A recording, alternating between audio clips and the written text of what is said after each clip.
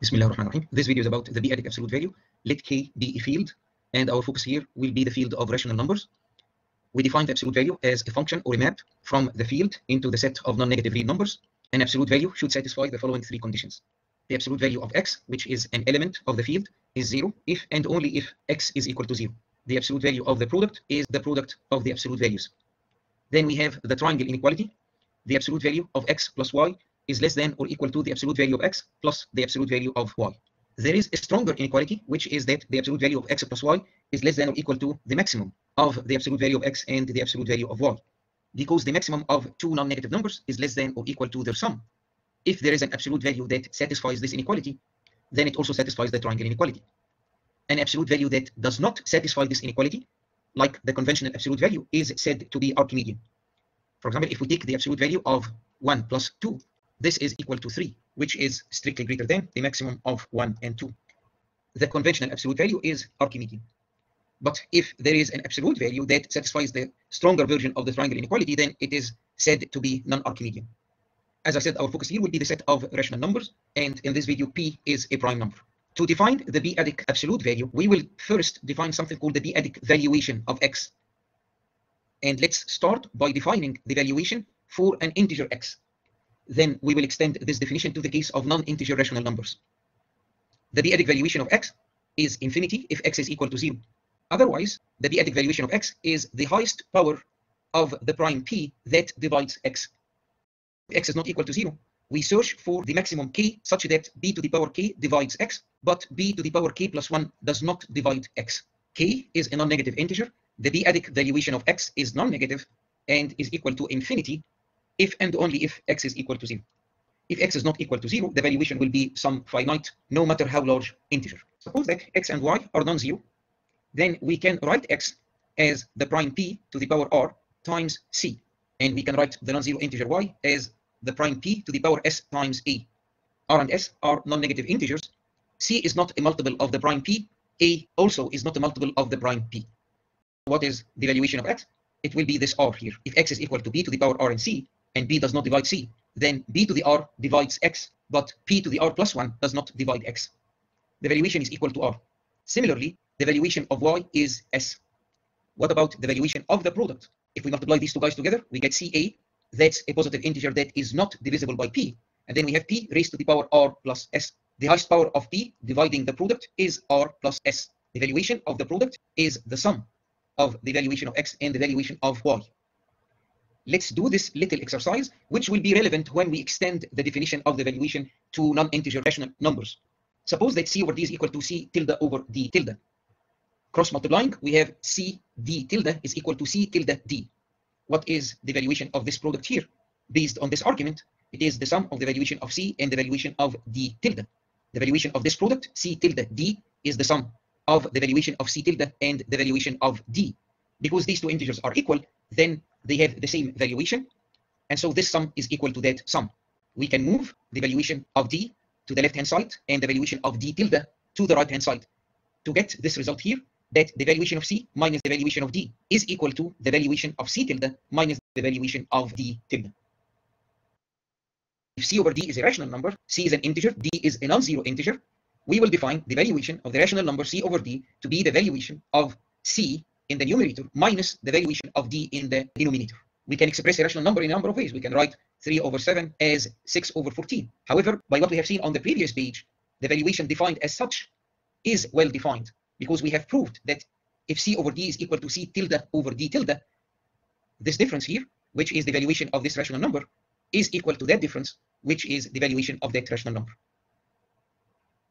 Now to the main point. We are hunting for an absolute value, something that is non-negative, 0, if and only if rational number x is equal to 0, then we need the absolute value of the product to be the product of the absolute values, and then we need the triangle inequality. The claim is that we can define the absolute value in this way. So the p-adic absolute value of the rational number x is the prime p to the power minus the valuation of x. If x is equal to 0, the valuation is taken to be infinity, and we will take b to the minus infinity to be equal to 0. So that the p-adic absolute value is 0 if and only if x is equal to 0. If x and y are non-zero rational numbers, write down x as p to the r times c over d, where c and d are co-prime to the prime number p. Write y as p to the power s times a over j. Also, a and j are co-prime to p. So c, d, a, and j are not multiples of the prime number p. If x is written as such, then the p-adic absolute value of x is p to the power minus r. If r is equal to 0, then x is equal to c over d. By definition, the p-adic absolute value of x is p to the power minus the valuation of this rational number c over d. That's the valuation of c minus the valuation of d. The prime p does not divide c. The prime p does not divide d. So this is equal to 0. That is equal to 0. We have p to the power 0. That's 1. If r is equal to 0, then the p-adic absolute value of x, as defined, is equal to 1. What if r is positive? If r is positive, then x has this integer c p to the r in the numerator, and it has the non-zero integer d in the denominator. What is the p-adic absolute value? So this is p to the power minus the valuation of this rational number. Now, what is the valuation of the number in the numerator? p does not divide c. The numerator is divisible by p to the r, but not p to the r plus 1. The valuation is r. We need to compute the valuation of the denominator. Well, d is not divisible by b, so that's 0. Then we compute the difference. This is p to the power minus r. Now, if r is negative, then we can think of the rational number x as c divided by the integer p to the minus r times d. What is the p-adic absolute value of x in this case? p to the power minus. Then we need the valuation of this rational number, the valuation of c, that's 0, because c is not divisible by p, minus the valuation of the number that we have in the denominator. And the highest power of p dividing this integer is minus r. In this bracket, we have r, and we end up with b to the minus r. Note that in the first case, we have b to the 0, which is also b to the minus r. Whether r is 0, strictly positive, or strictly negative, the p-adic absolute value of x is equal to p to the minus r. If we write down the non-zero rational number y in this way, then we know that the p-adic absolute value of y is p to the power minus s. We need to make sure that the p-adic absolute value of xy is equal to the product of the p-adic absolute values, and then we need to check that the p-adic absolute value satisfies the triangle inequality. Let's check the product. x is equal to p to the r, c over d, y is equal to p to the s, a over j. The product xy is p to the r plus s, ca divided by dj. What is the p-adic absolute value of this rational number? ca is not divisible by p, dj is not divisible by p, so the p-adic absolute value, as we have seen here, is p to the power minus, between brackets, r plus s. This is b to the power minus r times b to the power minus s, which is the product as desired. If either x or y is equal to 0, then the product of the absolute values is 0, xy is equal to 0, so the p-adic absolute value of the product is also 0. Now let's turn our focus to the sum.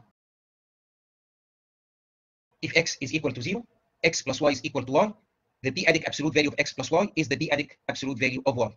Since x is equal to 0, then the p-adic absolute value of x is equal to 0, and we can write down the p-adic absolute value of the sum, which is the p-adic absolute value of y, as the maximum of 0, which is the p-adic absolute value of x, and the p-adic absolute value of y. We get the same thing if y is equal to 0. If one of these two rational numbers is equal to 0, what we have is that the p-adic absolute value of the sum is equal to the maximum. Let's now study the sum of x and y when both are non-zero rational numbers. Like what we did on the previous page, x is equal to p to the r, c over d, y is equal to p over s, a over j. The prime number p does not divide c or a or d or j. Without loss of generality, let's assume that r is less than or equal to s. What is the p-adic absolute value of x plus y? This is the p-adic absolute value of p to the r, c over d, plus p to the s, a over j. Let's take p to the power r as a common factor. This is equal to the p-adic absolute value of p to the r. Then we have from here c over d, and from there we have a over j times b to the power s minus r. Note that s minus r is a non-negative integer because we are assuming that s is greater than or equal to r. Let's combine these two rational numbers. We have p to the power r. In the denominator, we have dj. And note that dj is not a multiple of the prime number p. In the numerator, we get jc plus p to the power s minus r times dA. We have this integer in the numerator. It may happen that the numerator is divisible by p. We will write down the numerator as p to the power m times n. m is a non-negative integer. n is co-prime to p. p does not divide n. So this is p to the m times n. Now we need to obtain the p-adic absolute value of p to the power r plus m. And then we have the rational number n over dj.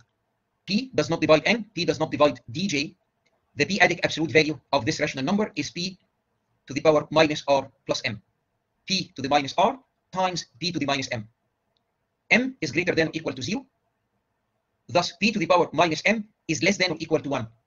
We can upper bound this product by p to the power minus r. We assumed that r is less than or equal to s. p to the r is less than or equal to p to the s. Taking the reciprocal of both sides, we have p to the minus r greater than or equal to p to the minus s, which means that p to the minus r is the maximum of b to the minus r, b to the minus s. And what is b to the minus r? That's the p-adic absolute value of x. And b to the minus s is the p-adic absolute value of y. So the p-adic absolute value is indeed an absolute value that satisfies the triangle inequality. In fact, it is non-Archimedean because it satisfies this stronger version. The p-adic absolute value of x plus y is less than or equal to the maximum of the p-adic absolute value of x and the p-adic absolute value of y. This is the verification that the p-adic absolute value is indeed an absolute value. If p is equal to 3, what is the 3-adic absolute value of 3? Well, 3 is 3 to the power 1, so it is 1 over 3. The 3-adic absolute value of 3 to the 100 is 1 over 3 to the 100. Generally, the p-adic absolute value of p to the r is p to the minus r. p to the r is a number that grows exponentially with r. However, the p-adic absolute value will tell us that the size of this number is actually small. It's p to the minus r. If r increases, the p-adic absolute value decreases. What is the 7-adic absolute value of this rational number? The numerator can be written as 7 to the power 4 times 13. This rational number is 7 to the 4 times 13 over 141. These two guys are co-prime to 7. The 7-adic absolute value of this rational number is 7 to the minus 4. Minus 11 over 625. This rational number is 5 to the power minus 4 times minus 11 over 1. The 5-adic absolute value is 5 to the power 4. Once we have an absolute value, then we can measure distances between numbers. And because the p-adic absolute value sort of reverses the conventional sense of size, it can be used to define a new notion of sequence convergence, which is different from the usual convergence based on the conventional absolute value. For instance, consider the sequence an 1 plus p plus p squared all the way to p to the n minus 1. So an is equal to p to the power n minus 1 over p minus 1, as this is a geometric series. Let's compute the p-adic absolute value of an plus m minus an. This is the sum 1 plus p plus p to the n minus 1 plus p to the n all the way to p to the power n plus m minus 1. an is 1 plus p all the way to p to the n minus 1. an plus m minus an is p to the power n plus p to the power n plus 1 to p to the power n plus m minus 1. Take b to the n as a common factor. What do we have here? We have an integer. This is p to the power n. And then we have this integer here, which is not divisible by p. So the p-adic absolute value of this integer is p to the power minus n. What does this mean? For every epsilon greater than 0, there exists big M, which depends on epsilon, such that for every k strictly greater than L, which is greater than or equal to big M, we have the p-adic absolute value of ak minus al strictly less than epsilon. Why is this true? Because the p-adic absolute value of ak minus al, and given that L is inferior to k, we know from here that this is equal to 1 over p to the power L. L is greater than or equal to big M. So 1 over b to the L is less than or equal to 1 over p to the M.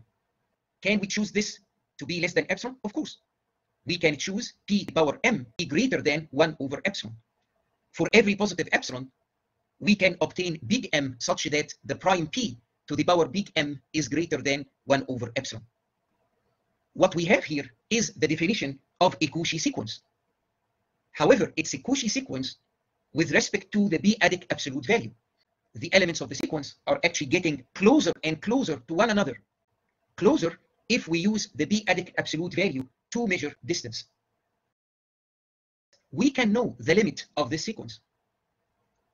The limit is 1 over 1 minus p, or minus 1 over p minus 1. Let's measure the distance between an and this candidate limit.